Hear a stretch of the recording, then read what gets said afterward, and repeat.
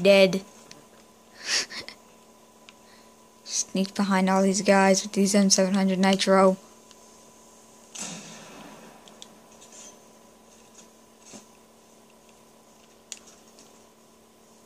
Wow. Bye.